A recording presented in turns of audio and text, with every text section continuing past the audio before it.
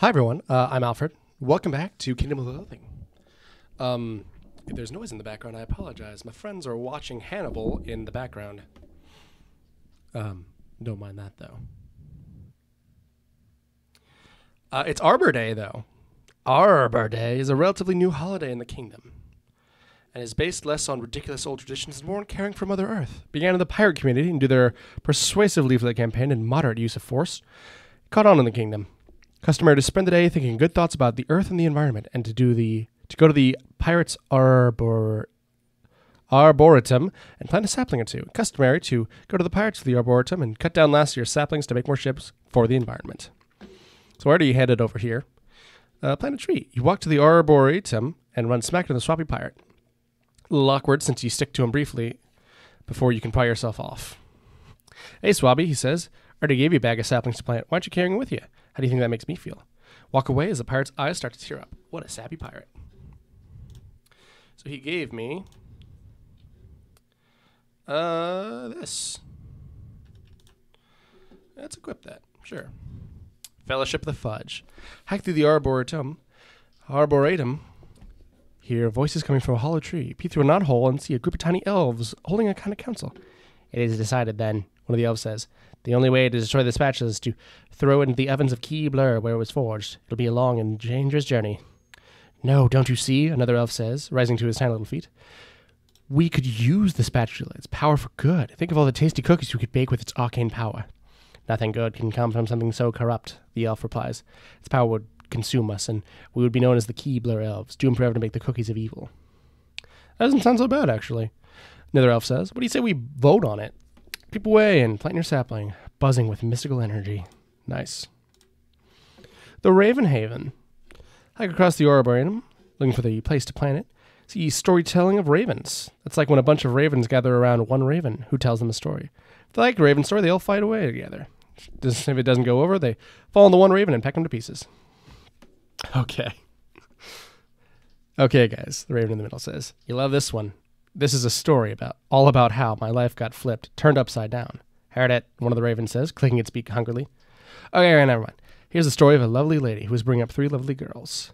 Why do we care for a human female and her brood? All right, then. This is the story of a girl who cried a river and drowned a whole world. Down the whole world, eh? That sounds promising. Think of the feasting we'd do on the drowned, bloated corpse of the humans. Continue. My fucking god, that's funny. You shudder and find someplace else to plant your saplings. You'll certainly never go near a raven nevermore. The wolf at your door. Plant your sapling and walk through the arboretum. Follow a little path through the trees and end up at a cute little brick house. Walk up to the front door, you hear a loud wheezing noise, and you almost trip over a wolf lying in the path. Rolls over, gasping for air. Geez, what happened to you, you ask? Stops, uh, stops gasping and looks at you. Moss in here to solve a problem. Says, I'm a wolf.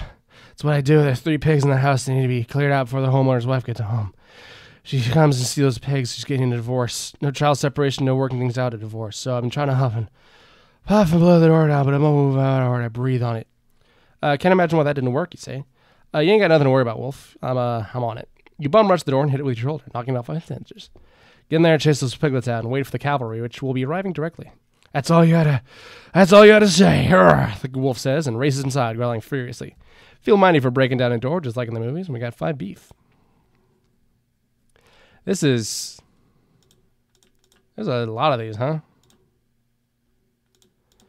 Wow, there's a, woof.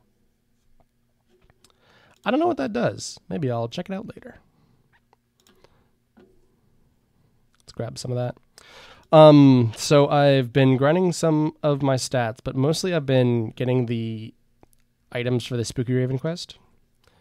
Um, I've had quite enough on-screen shenanigans, so I'm just gonna.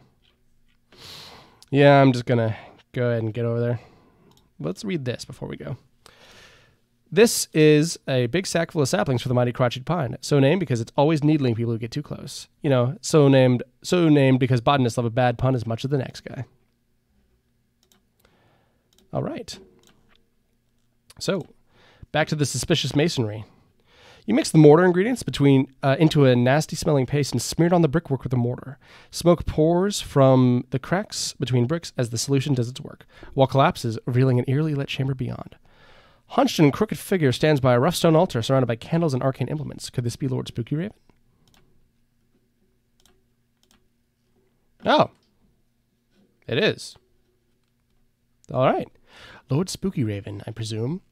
You say as you enter the summoning chamber. He moves his mouth as if to reply, but all that emerges is a puff of dust. He looks as old and desiccated as an old desiccated corpse. He must have used ancient and unspeakable and forbidden magic to keep himself alive. You think he would have used it to keep himself in better shape. If you'd have time, but you don't, as you'd you'd think if you had time, but you don't, because he's already preparing to attack you. It's the jump on me. He twiddles his fingers, and the room fills with a noxious green fog. You sputter and gag. Ew. Oops. Oh, fuck. He twiddles his fingers, and spooky hands emerge from the darkness. They smack you repeatedly and spookily. Um, let's just exp- uh, Let's try one of these. Well, that was enough. Cool. Um, we got muscularity points. Got the Eye of Ed. And Spooky Raven's ear trumpet. Eye of Ed. Gem from the Staff of Ed. Lord Spooky Raven must have been using its peculiarly en- energy focusing properties in his ancient unspeakable rituals. Cool. And Spooky Raven's ear trumpet. Eh, what? I can't hear you. It's an accessory. Accessory gives you 25% more combat initiative. Oh. You enter the summoning chamber. Air is heavy with evil, and otherworldly whispers echo melodramatically in your mind. What are them asks the dam- name of the demon you would summon. Um.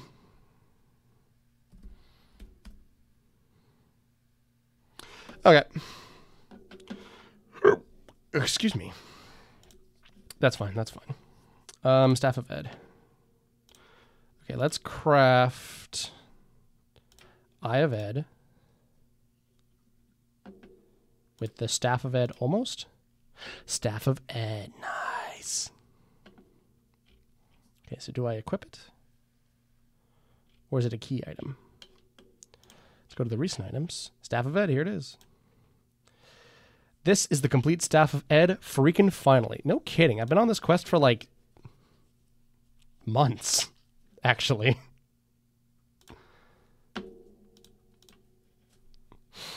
Um. Ugh. Yeah, let's just eat cream cheese. Why not? Drink a vodka cranberry. Why not? You know? Just why not? That's all. All right, let's head to the pyramid. Step inside the small pyramid. Yada yada yada. You locate the sock. You locate the socket on the floor where the staff fits and plug it in. Sunlight streams in through a hole in the wall and hits the eye of Ed, which focuses the light into a concentrated dot on the model. Move close to the model and find exactly where the dot and therefore the buried pyramid lies. And uh, is that smoke? The model bursts into flames and is consumed, leaving behind a pile of ash and a hidden trapdoor. You open the trapdoor to find a flight of stone stairs, which descend into an ancient buried pyramid. Isn't quite what you expected. Back in? Oh. Well, shit, we're here.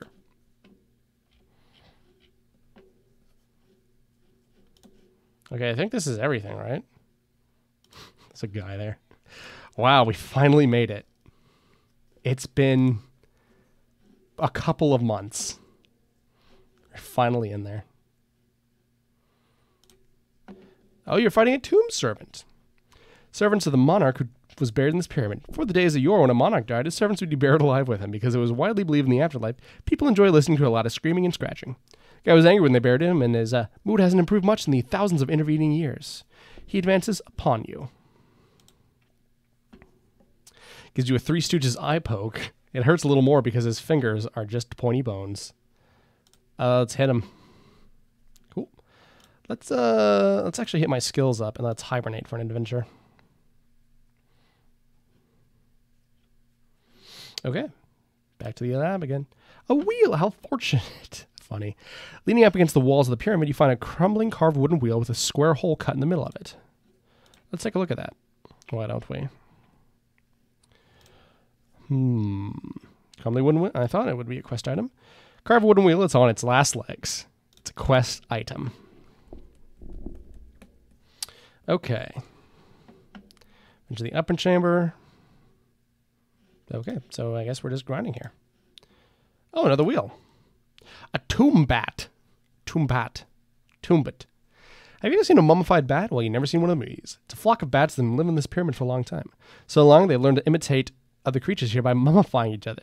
This is one a little bit. In fact, they for uh, performed the mummification before this subject shovels off its furry black little mortal coil, but the effect earns them a lot of points, if for no other reason than the extreme creepiness.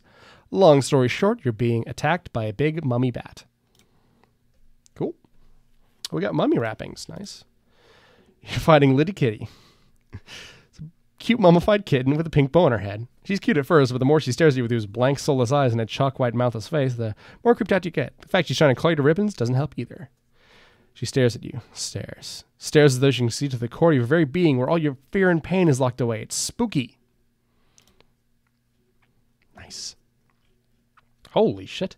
Leather cat skin, ancient magi wipes, ancient vinyl coin purse, and mummy, mummy wrappings. Right. Got a miscellaneous item. Clear plastic coin purse with little kitties, Liddy kitties. Oh, hello, kitty. Clear, unblinking face on it. A coin purse that did blink would be creepier. Oh, and with the coin purse in your hand. Out of nowhere, a guy wearing thick glasses and a tie approaches you and says, Holy cow, those are some rare and valuable coins. What do you say it tingles off your hands? Does this seem like a fair price? Before you can respond, he shoves a stack of meat in your hand and disappears. You hope you got a good deal. All right. Yo, wigga wigga, I live in a Tizoom. Sorry about that. Oh, mummy wrapping. Boo. Filthy dried bandages used to hold mummified bits of some inside of someone or something. Tied in a little bow, but it's not a very good bow, so you untie and put it in your back pocket. I imagine it's something that you would uh, do. Thick preserved skin from a mummified cat. There's more than one way to get this. Foil wrap pack of magic soap paper napkins for when you got in curse all over yourself. Lil, uh, Liddy Kitty stares malevolently at you from the front of the package. It cures shit. Cool. All right. Back to the episode. Oh, doobie doobie down down. Down doobie doo down down. Push a lid off a sarcophagus, really, for no reason. You just felt like defiling another tomb and discover a hidden stairway to a deeper level of the pyramid. Wow, nice. Uh, while I'm here, let's just double check. Okay. Okay. Okay.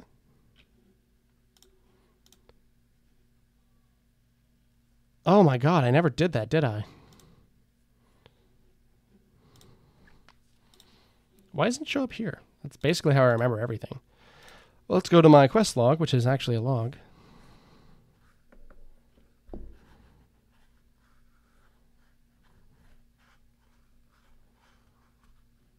Oh boy.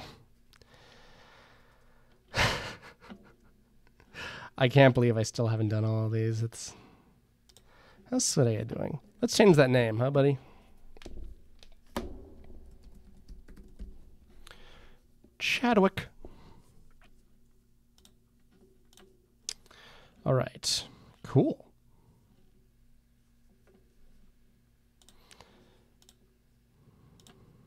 Nice. All right, let's go to the middle chamber. You're finding a Tumasp. Tumbasp.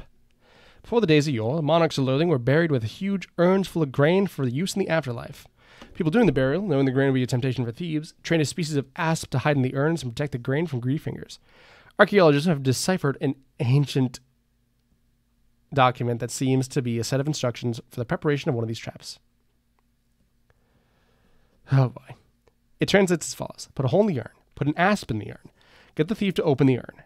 You've just performed step three, and you figure step four is either fight this thing or get poisoned, maybe both. Technically, it would be envenomed, but that's okay. Tomb Rat. Tomb Rat. For the days of yore, monarchs of loathing were buried with huge stores of grain, yada yada. Oh, currency in the afterlife.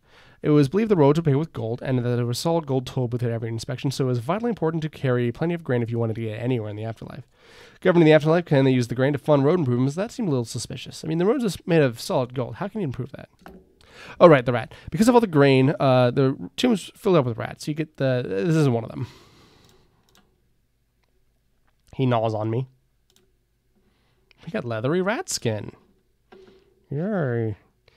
Mangy tomb rat, complete with fleas and patches of missing fur. One of the nastiest things you've ever seen. Why did you even pick it up? It coils itself inside the urn and springs in the air, taking the urn with it. It lands on top of your head. The heavy urn causes you a great deal of unearned pain. slithers toward you, intent on sinking its fangs into your tender flesh. Before it can reach you, a window to another dimension opens up, and a badger's paw reaches through and grabs it. Another snake takes its place. Unidentified. It's food. Strip of ancient dried meat. You're not sure what kind of meat because after a thousand years, all starts to look pretty much the same. You wonder if you're chewing on some ancient emperor. Strengthen his muscle point of level. Oh shit. Oh fuck. I'm so high of a level. Torg, my man.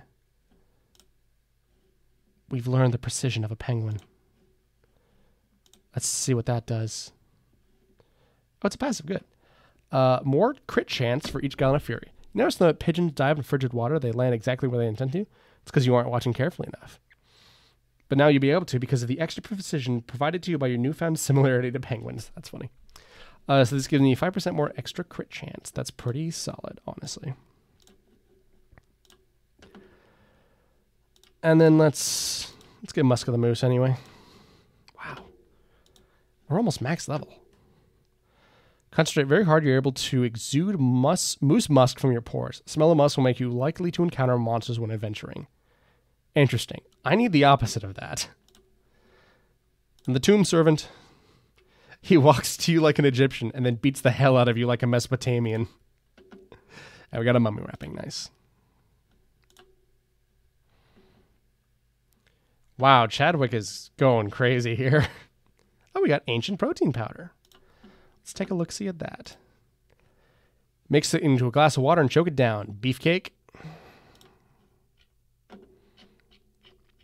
I want to remember what this does. Less item drops, less initiative, but it lets me breathe underwater. Right. Right. Okay. Further down, doobie doo down, down. Find a tall stack of canopic urns. After breaking them in a well placed single throw of a baseball, they were stacked. In, you notice they were stacked in front of another set of stairs leading down. Cool. I am going to cheat on this upcoming puzzle because I uh, didn't like it at all. Move to the first chamber into the second, where the stairways concealed under a pile of rubble. Huh. Okay. I guess we're just going through again.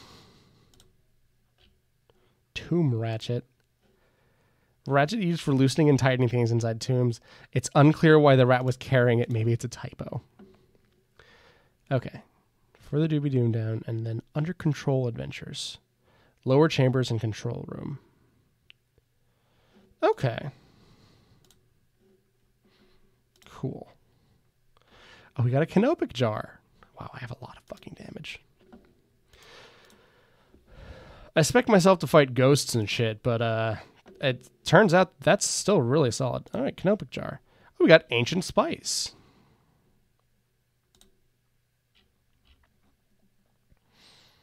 Ancient spice. Ancient pile of valuable and delicious spice. That's what it is. Not the dusty remains of long disintegrated organs, not at all. Definitely spice. It weakens enemies and it deals a bunch of damage to them. Oh, under control. After setting fires to a stack of mummies piled up like cordwood, you discover a door that had, until recently, been concealed by a pile of unburned mummies. Poke your head through it and leads to a room with a panel in it. It's like the feature met the past and had a baby, and that baby was a weird stone panel control room. Okay. Rotate it three times.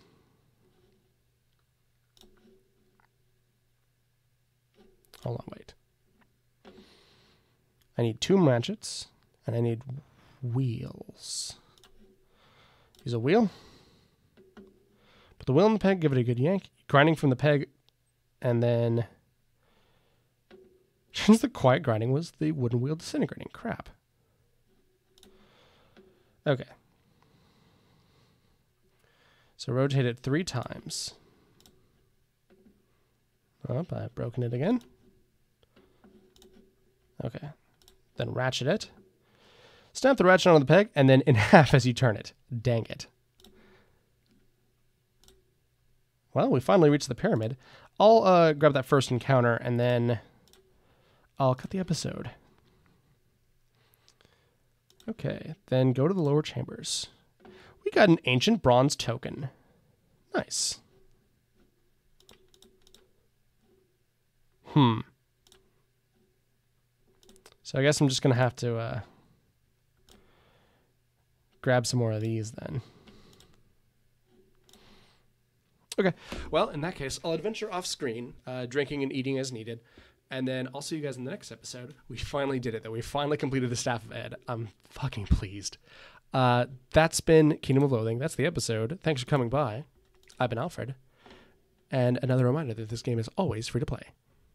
Thanks for coming to see me.